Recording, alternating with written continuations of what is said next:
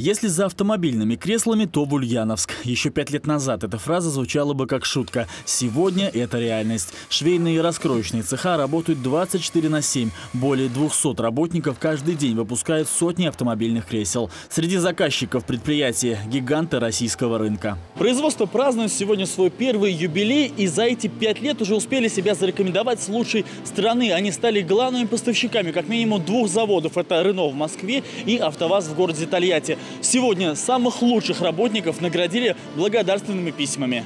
Впрочем, кресло из Ульяновска отправляется и по всему миру. Предприятие также работает на экспорт с ведущими мировыми брендами. Всему миру кресло, нашему региону бесценный опыт. Ваш замечательный проект позволяет нам выстраивать сотрудничество со многими мировыми лидерами. С пониманием того, как мы могли бы, используя ваш опыт, активно применять э, ваши успешные практики и на других предприятиях и организациях. А все это потом позволяет нам в купе чувствовать себя достаточно спокойно и стабильно в Ульяновской области.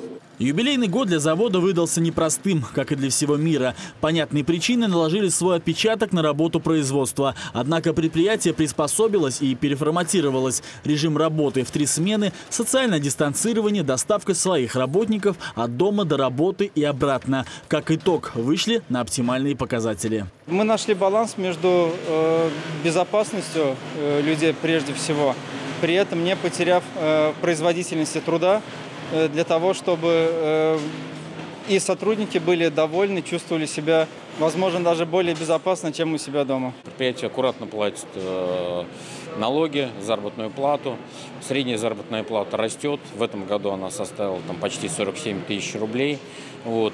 Ну и что немаловажно для нас, они выстраивают э, кооперацию с нашими ульяновскими предприятиями. Первый юбилей – это только начало для производства. Планы на будущее – развить производственные мощности, увеличить объемы производства. Для этого завод расширит, рабочих мест прибавится ровно в два раза. Проект развития рассчитан на 3-4 года. Максим Бажанов, Юрий Давыдов, репортер 73.